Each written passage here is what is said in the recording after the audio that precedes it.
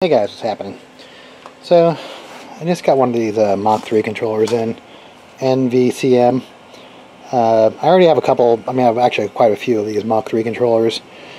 Uh, here's the other one I have, it's NVEM. This is the Ethernet version of it. But um, for some reason this thing actually didn't come, it was supposed to be 6 axis and it didn't come with 6 axis, it was 3 axis. Um, so maybe that's went 5 axis.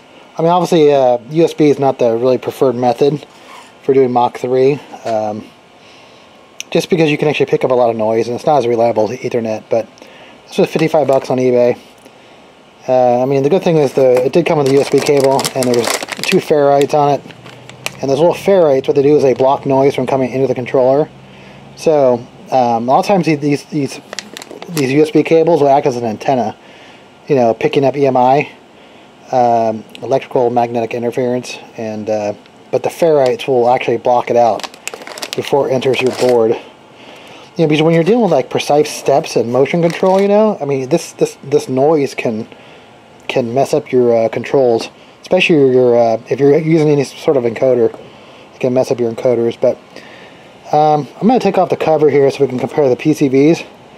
Uh, then I'll fire it up in Mach 3, and well, actually I want to get it to work. I have this totally mocked up, you know, going with the uh, MPG NV. This is another product from Novusun. And then I have a, probe and then a one stepper just as a mock-up. You got me going into this CNC machine right here. Uh, maybe I, I, don't think if you actually seen it like this before, uh, totally built up like this, but I do actually have. Uh, I'm going to parallel port one there right now if you can see it, and then I'm doing five axis. So that's the five, uh, three NEMA 24s and uh, two NEMA 23s. Yeah, actually, I have an EC500, the most latest version of the Ethernet version of their Novusun's product. Um, uh, but I can't get it in China. I mean, it's uh, I've already ordered four different. There's their, their companies are selling them. I'm buying them on AliExpress, but then they can't. They won't ship them. It's like they're all selling the same products, but you know, once you buy, you give them the money. Then they say, okay, come back ten days later, and say, uh, yeah, we can't get it from the manufacturer. So they're selling a product they can't get, but it's just not just one store. It's, it's four different stores, and every single time I have to wait 10 days before they tell me I can't get it. They can't get it. So it's been pretty kind of frustrating. It's been over a month. I've been actually trying to buy one for over a month. One of the cool things is are the pinouts are almost exactly the same. Inputs, powers are a different spot. Um, so this actually has an external UART. Um, cool thing is the MPG actually has a dedicated 15 uh, DB15 MPG. So it's running an ST Micro, STM Micro 32-bit ARM processor, and that's actually what translates the, uh, USB signal into a uh, parallel port. Like Mach 3 wants to send a parallel port, so you're kind of tricking Mach 3, you know, and, and this will translate into like a parallel port signal. Um, so you have a bunch of, uh, these are your inputs right here. These are opto couplers right here, so opto isolated. You heard that term before. It's basically like having a TV remote. You're not, you're, you're, you have two physical circuits, you're totally separated electronically. That's why when you see this right here, right?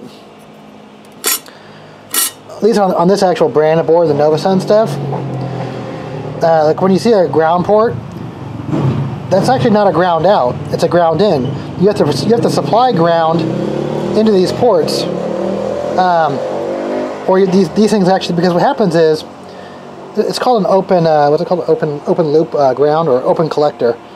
So you have to provide it a ground, uh, actual power wire from the ground, and then these will actually be ground triggered. But these won't operate unless you run a ground wire. So it took me a while to figure that out on this, on the NVMe.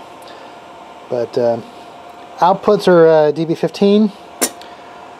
Um, the cool thing about this one, at least, it has the, the 10s here. But I don't need a lot of outputs for this thing, so I think I should be able to get away with, there's four outputs right here. The S-axis is really for the spindle. But what's weird is they have uh, two uh, four uh, outputs. So typically you'd use two for forward and reverse, and then you have like a, like a pulse width modulated spindle, 0 to 10 volt. But, uh, closer look. Oh, that's interesting. Um, I'm guessing this is the, uh, so on this one here, I've been messing around with Linux CNC, and this is actually an ST, ST Link, and actually I'm able to program the firmware. I'm basically programming this thing here. So these are actually almost like a system on chip uh, operating system. you know, has its own memory, its own uh, you know CPU, obviously ARM processor, its own uh, flash memory too. So you can actually there's flash storage on this chip. So that's actually where the operating system is loaded. The cool thing is this actually has these pinners. I'm, I'm assuming this is for. These little headers. Um, this better be six axis because I, I mean that's going to piss me off if it's not six axis. So the thing about Novusun, what I noticed is that what they do is the hardware will be exactly the same, identical. But what they'll do is they'll they'll pull data from an EEPROM. So on the, on this board here, there's an EEPROM, right? And they pull that data. So when the, when the system boots up, the operating system, so the serial number, the axis count is actually on an EEPROM, and the processor pulls the EEPROM, and that's what tells it, you know, like in Mach 3, how many axis you're licensed for. So they sell based on license, but even though the hardware is exactly the same. But what's weird is you can't even buy the license. So if you wanted to upgrade from 3 axis to 6 axis, there's no way to do it. At least I haven't been able to find it. So I might try to hack the EEPROM, we'll see. Alright, so, um, alright, let's get this hooked up to Mach 3 and uh, get some tests on here. We'll see if I can get some movements going. Here's a closer look at the cable, the double ferrites. Uh, or they call chokes, or also called chokes, ferrites. Um, yeah, you don't typically want to go past 3 feet normally on a USB cable. Um, just because you pick up weight, it's like an antenna. You pick up all the interference. Plus, it's not a really reliable signal for over length. It's, I mean, I would never go over six feet on a USB cable. Yeah, that's actually one of the reasons why the Ethernet is so much better. It's actually a much more stable uh, design, you know, IP over long distances, you know, over like like 100 meters of cable. I'm actually a cabling contractor, so I set up fiber optic and wires all day long, build data centers.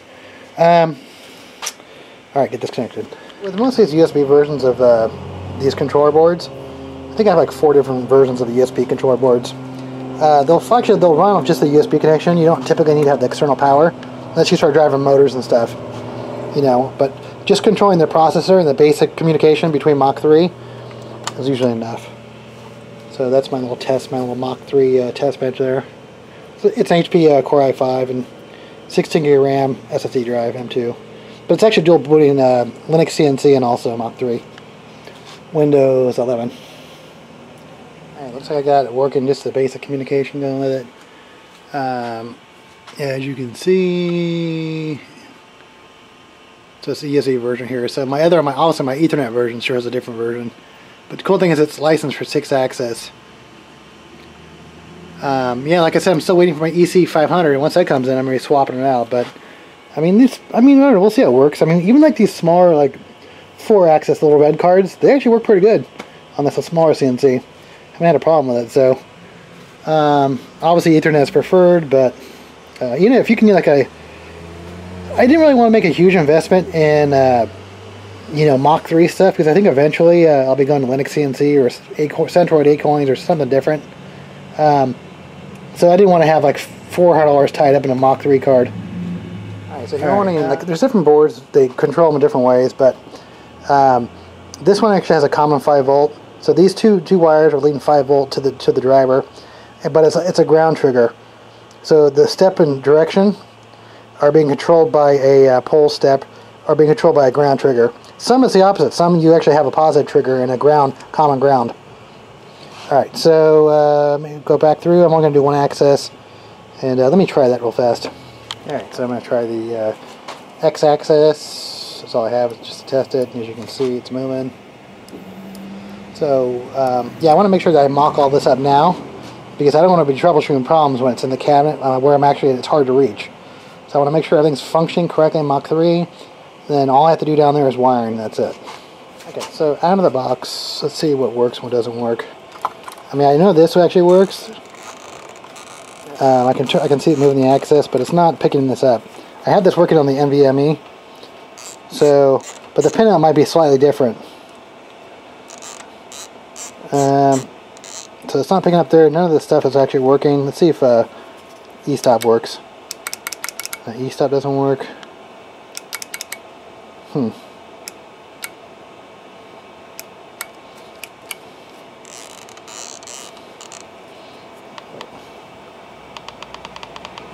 Yeah.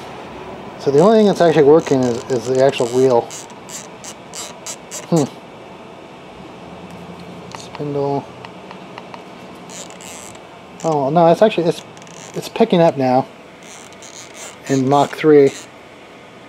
I just switch back to a different screen set. Okay, let's go down to a different axis. Under the actual plugin config, there's an option here where it says NVMPG right there. Standard. I'm going to try the standard and see what happens. Uh, like I said, they could have different pinouts. Um, you know, so let me go back and mess with that. I figured that might happen. Uh, just because I know the pinout for a standard MPG is different than this Novusun MPG. So the only thing, the functions, this this actually works, but none of the other stuff does. Um, so what I might just do is make an adapter DB15 to adapt them. And that way I don't have to cut into this cable. Uh, just because I'm, i know I'm going to eventually go into a different board. This is only a temporary thing here. Um, so I don't really want to mess with the, you know, the jacks up. Because this will plug into the other one, you know, exactly how it is and work. It's designed for this, this MPG. Sorry, so I'm to move on to the outputs.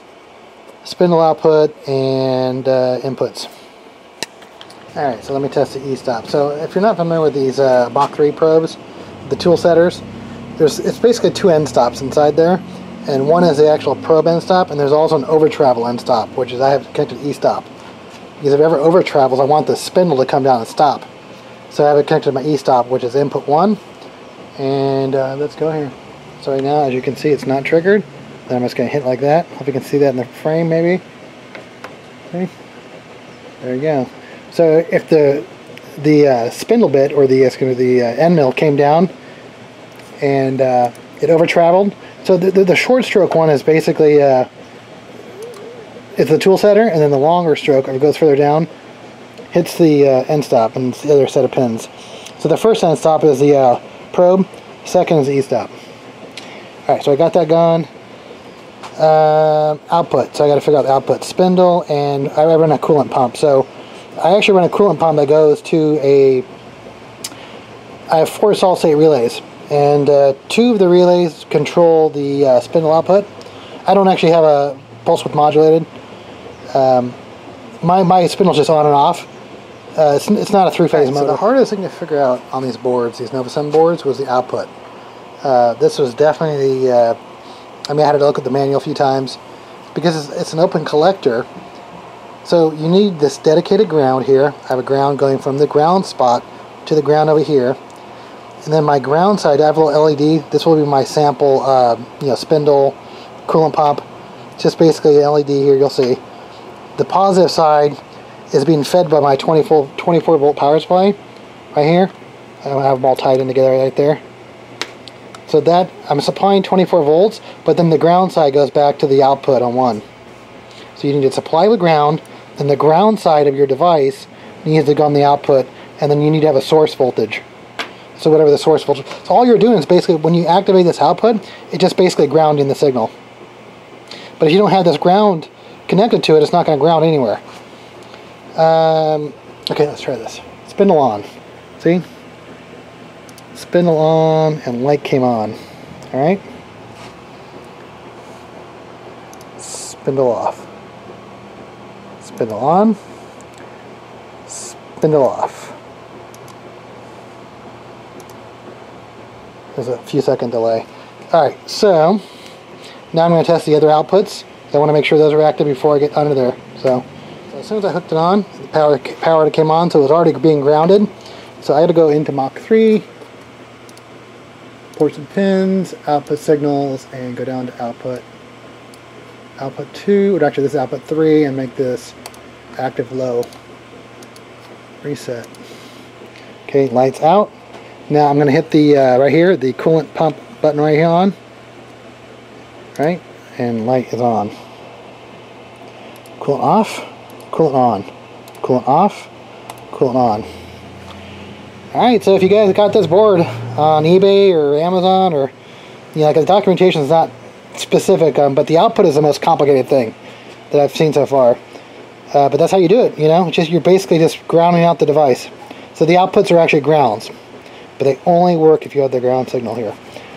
So, yeah, I'm messing with Linux CNC. The cool thing is some guys mess with the firmware of that, but everything's working. So, um, yeah, if you want to know more about this thing, uh, make future videos about my other CNC. So, yeah, I mean, I'm backlogged about 20 videos.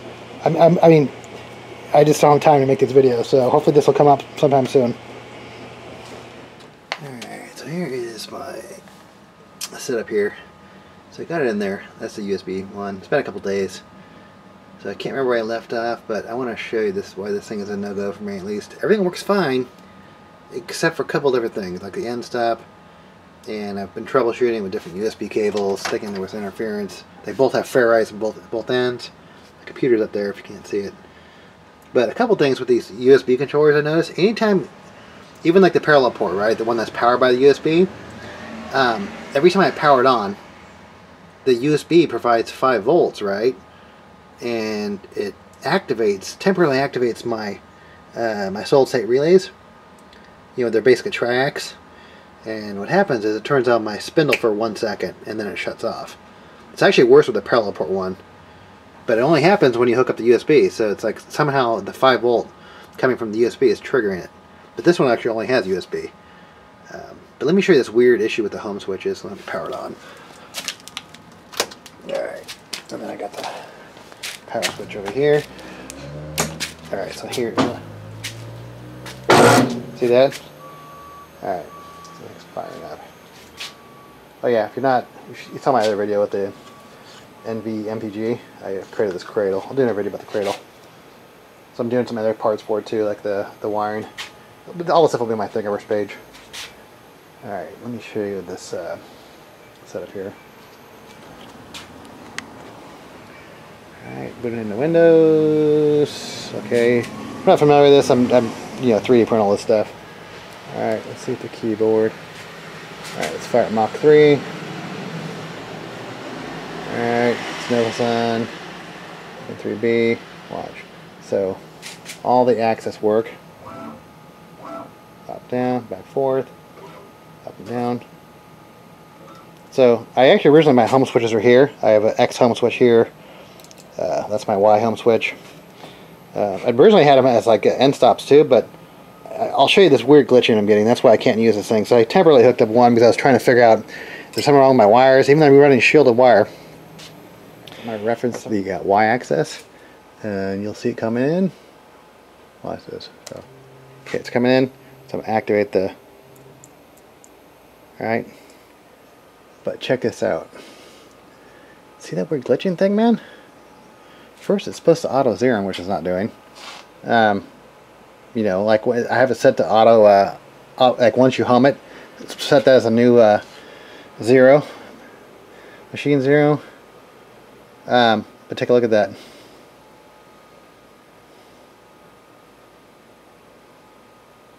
What is that glitch, man? I, I, this is the only controller board I've ever had it do that, you know. And I actually have a, a USB one over here. You know, this old, this little four port, the red card.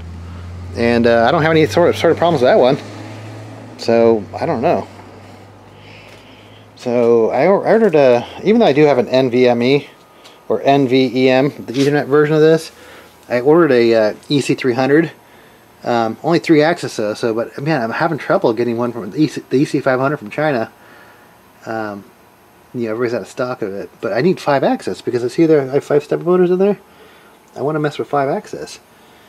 But um, but I do actually like. I want to use a. I want better integration with this my MPG here, I guess. But plus this this thing. I mean, they, there's a firmware for for Linux CNC, and not with this one, but the Ethernet version of it. So, um, yeah, I guess I'll be taking this taking this out. So, yeah, because all of a sudden my home is glitching. I don't know what the deal with that is. Uh, and that's shielded wire too, by the way. It's not unshielded wire. Um, yeah, different USB cables. So I guess it's a no-go for me. I, guess you know, but I don't know if other people having that same issue. I'm a, I haven't read anything about it though online, so I don't know what the deal is. Um, yeah, like everything works except for that. Well, that and that weird thing, like when the when the spindle first, when you first turn it on, as soon as the USB gets power, you know, it it somehow leaks over to the uh, the outputs. You know, so not sure what the deal with that is. All right, guys. Well, that's my review of this thing.